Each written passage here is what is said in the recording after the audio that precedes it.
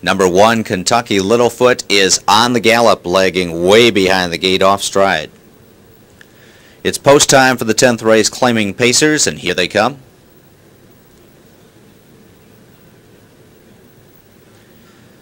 And they're off. Kentucky Littlefoot refusing to hit a pace already an eighth of a mile behind the field. And first away is Fortune Smile N, who heads out for the lead. Hurricane Signs brushes up around him to the front. Pressy Boy hunts a good early spot. He'll find it in third. And from the outside is Hit a Grand Slam, and he's now moving up into fourth. Jake Seelster has come away fifth. Tiger Tarsio leaning in a bit on the opening turn. Two lengths further back is sixth. He's followed by Cigar Lou and Rictino, and still off stride, Kentucky Littlefoot, opening quarter in 27 and 4. They make their way onto the backstretch. Hit a grand slam for the outside, is now taking the lead. Back in second is Hurricane Signs. Fortune Smile N for Silverman starts up on the outside, and here comes Fortune Smile. He's now second and brushing up to challenge for the front. Pressy Boy races in fourth. Jake Seelster sits in fifth. Then it's Tiger Tarsio, Cigar Lou, and Rictino. And far, far behind, Kentucky Littlefoot can see them all as they reach the half in 56 and 1.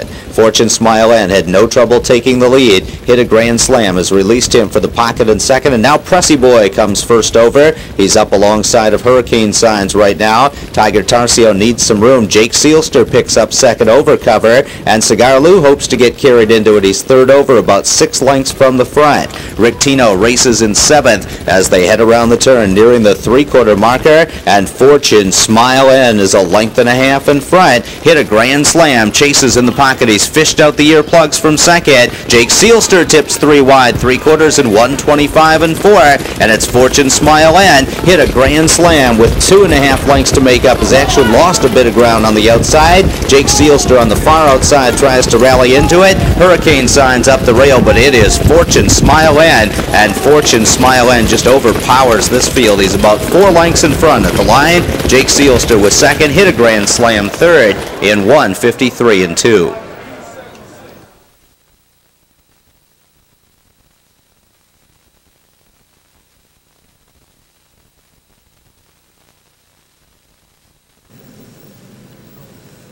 That's four wins in his last six starts for number three, Fortune Smile N. 11-year-old gelding by Vance Hanover out of Lee Nandina by Frosty Dream, owned by Evan Katz of Seaford, New York. Third training victory tonight for Ross Krogan. Richie Silverman is in the sulky.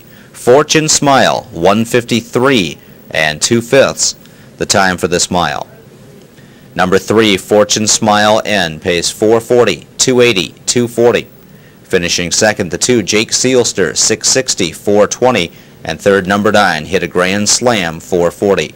Exacta 3 and 2, 3260, 329 try, $250.60. And the pick three of 693, 115.60. One race left.